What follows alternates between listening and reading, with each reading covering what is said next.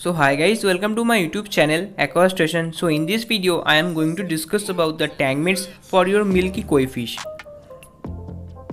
So selecting the right tank mates for milky koi is crucial. You have to consider a lot of things before you put a fish with milky koi in a tank.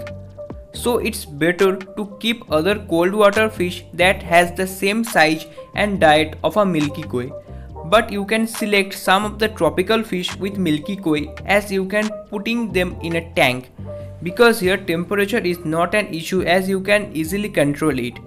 So the first thing to ensure is that the fish isn't aggressive so that it doesn't attack the koi. Keep social fish with koi and other fish so that it can live happily with them. Make sure the size of the fish is nearly similar to your milky koi fish.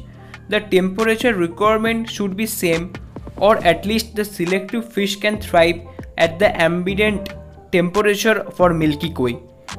So it is better if the selected fish species is a bottom dweller. So the first tank mate for milky koi is clown loach and the second tank mate is pleco or sucker catfish the third tank mate is Cory catfish. Fourth tank mate is Shubunkin goldfish. Fifth tank mate is blue line or iridescent shark. Sixth tank mate is silver or bala shark. Seventh tank mate is rainbow fish. Eighth tank mate is black ghost knife fish.